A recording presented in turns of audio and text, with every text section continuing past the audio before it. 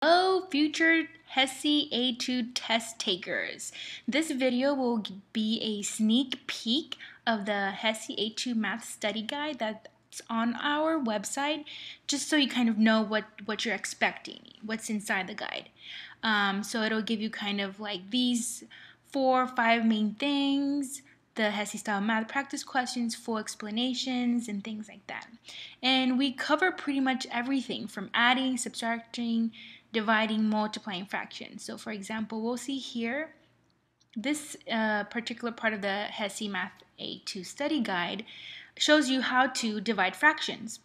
So we take everything step by step. We really, really break it down. We tear apart everything from scratch so you really know how to solve it and why you solve it the way you do. Um, and here we have just continue how to multiply and here how to multiply fractions. And then we also cover decimals and you will definitely see a lot of decimals in the HESI A2 Math Study Guide. So if you even have a second right now, write this down. This is the ones, tens, tenths, hundreds, and thousands place. You will absolutely need to know this when you're taking the HESI A2 math. You will see a lot of decimal problems. So this is one of our most important pages of the entire HESI A2 math study guide. So just, you know, if you even want to hit pause right now and look at this, it'll be really helpful to you. Another part of the HESI A2 Math Study Guide includes ratios because you will see a ton of ratios. How to convert ratios to decimals, how to convert decimals to ratios. You got to be able to know how to do that.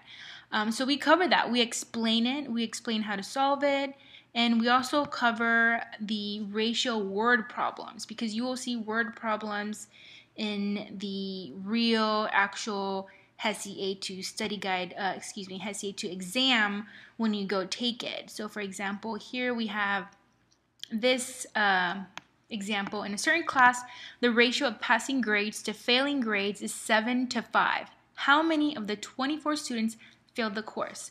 So not only do we give you an answer, but we give you the entire explanation, the rationale. We explain it. We break it down so you can fully understand. Because if you know how to solve one problem, then you'll be able to figure out all of the problems. And then another one here is solving per, for percentages. You'll see that a lot in the HESI A2 math part of the exam. So you definitely need to know how to solve for percentages. So we cover that in the study guide as well. One of the other more important things are conversion. So you must be able to know how to convert the metric system from kilometers to miles, from milligrams to grams. You got to be able to convert. So we also explain that on here. Now, I'm going to show you something that is very, very, very, very, very, very important, and that is the distribution of questions. If you don't take anything from this video, if you're ignoring everything I'm saying, all the any all the questions, what we go over in the study guide, fine. But this this right here, pause it, write it down. This is the distribution of the number and the kind of math questions. As you can see here, a ton of fractions and ratios and percentages. Very little algebra and conversions, but it's still very important to know, right? It's still 20 questions. But look, if you just know how to, if you just know the foundations of your fractions, you can basically pass this exam. Just, just knowing fractions alone, period, will get you where you need to get.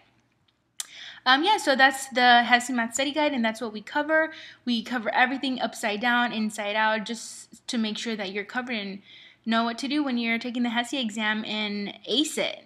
If you have any questions, just reach us at readyforthehesi.org.